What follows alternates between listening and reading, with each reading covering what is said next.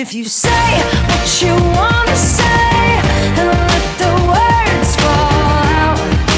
Honestly, I want to see you be brave.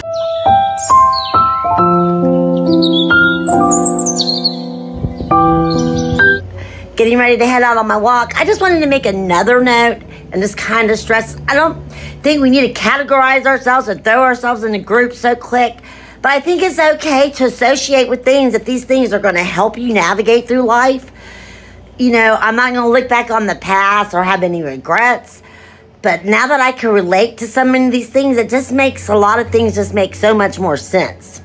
And more importantly, if I can now compartmentalize what is my stuff and what is other people's stuff, you know, there again, it'll make life a lot more easier.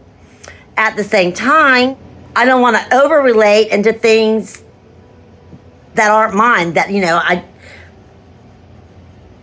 characteristics that I don't share. I'm not sure the awakening ever really stops. Spirituality is a constant growth. It's a, you know, I think we're constantly needing to expand our consciousness and grow and build our vibration level up. This is just the beginning. So I'm just so excited about it. I'm so happy. I just never thought I could feel this great. Okay, I'm starting to see why the spiritual awakening for empath is a little different. I'm listening to Aaron's one of his podcasts. This actually has more to do with um, vibrational levels, our, our energy. But he was an empath whose stepmother was a narcissist and had borderline personality disorder. And he talks about how, as children, we have to learn how to tune ourselves as survival mechanisms to get. And so much of this is hitting home on so many different levels and correlate in different ways. I won't go into right now. But other things explain the things I've gone through in my life as well. But this is just, wow, the way it's just all falling in place and coming together so fast. It's just like, wow, I'm gonna have a lot to think about tonight to reflect on. We attract people that have a strong sense of self, which would be my father, because we're always trying people please to get their approval. So that's a frame. My father would be the frame that we're always trying to step into, which would definitely explains a lot of my history, but so does a lot of other theories. So, you know, I'm happy to report here. I'm way ahead on a lot of this stuff. a lot of this is not new to me. But this is where it gets interesting. It's a lack of container, it's a lack of sense of self, but our empathic ability that allows us to find the frames that we need to fit into, although negative, like the same people that we're trying to please to get our worth from.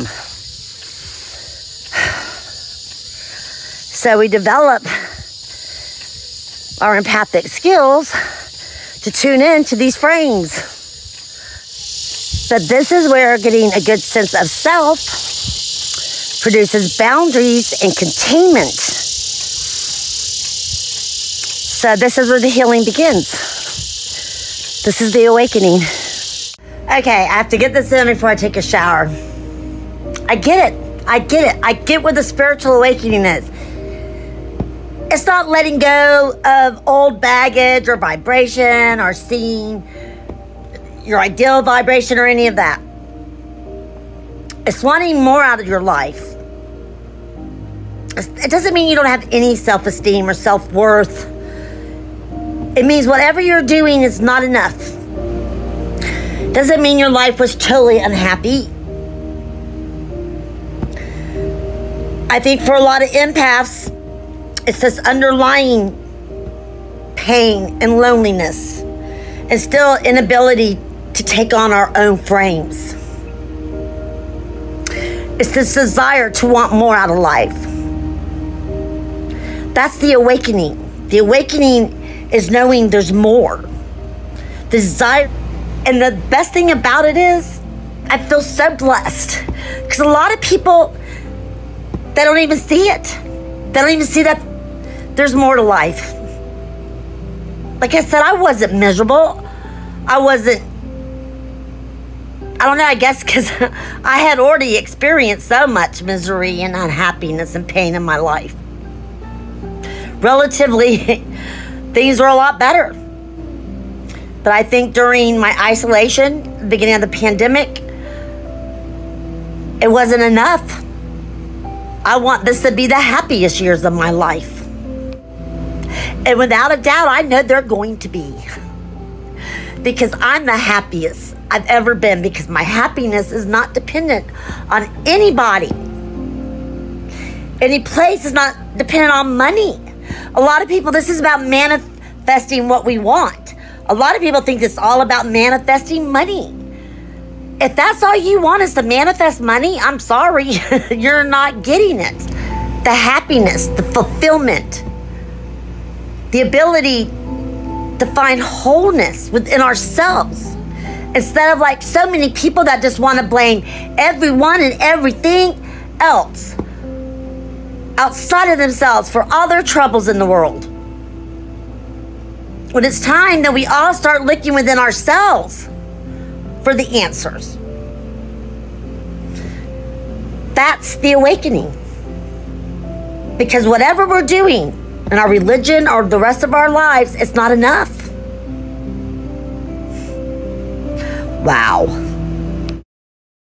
Wow, just a couple more things. So much is coming so fast.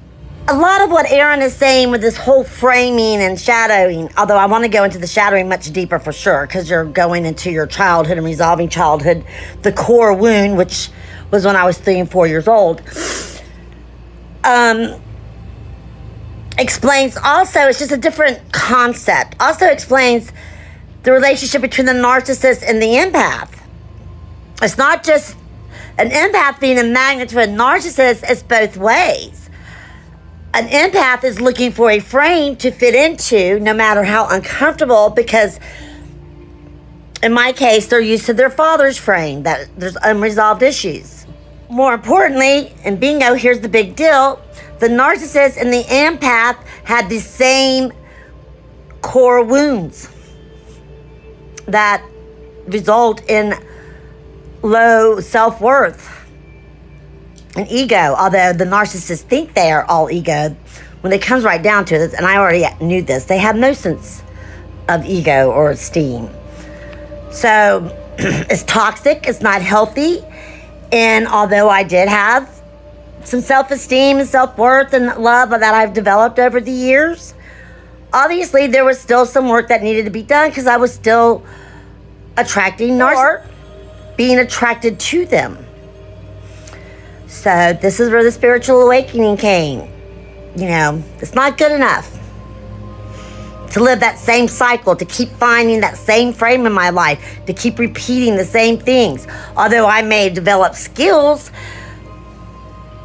to better handle things and to not be as miserable and unhappy and make the same mistakes and be self destructive, it didn't mean I was achieving everything I want.